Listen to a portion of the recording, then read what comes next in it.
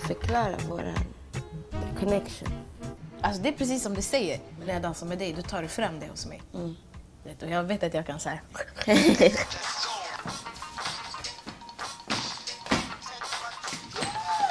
När jag såg dig dansa förut, du berättade hela din life story. Alltså.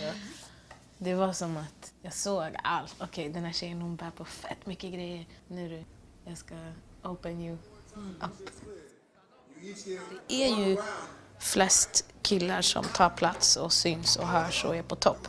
De flesta tjejer jobbar hårdare för att få den respekten man behöver, som man vill ha.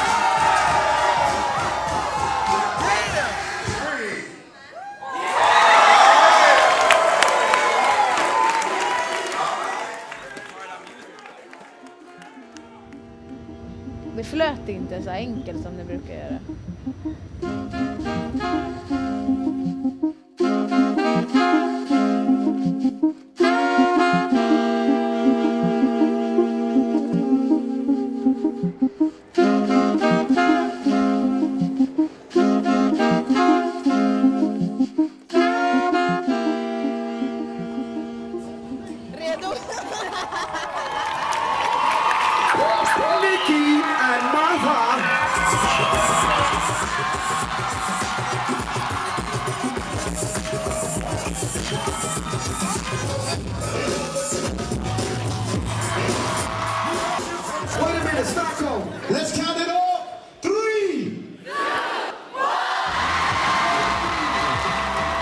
Today is the first time that I've ever been to a dance contest